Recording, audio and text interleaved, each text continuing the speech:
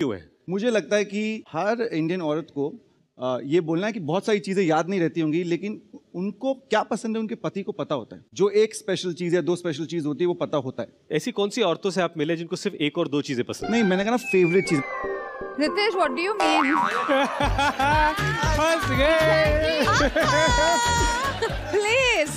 Oh how can you say that so So what do you mean? नहीं मेरा मतलब है मेरा मतलब है कि दुनिया इतनी बड़ी है कि मेरा फेवरेट रंग कौन सा है? मुझे खाने में क्या पसंद है? मेरी फेवरेट चीज़ क्या है? मेरा फेवरेट एक्टर कौन सा है? मेरी फेवरेट फ़िल्म कौन ऐसे अलग अलग चीज़ें होती है जहाँ पर हर कैटेगरी में एक दो चीज़ें पसंद है औरतों को। मुझे लगता है कि 80 परसेंट औरतों को ये लगता है कि उनके आदमियों को या उनके पार्टनर्स को कुछ नहीं पता।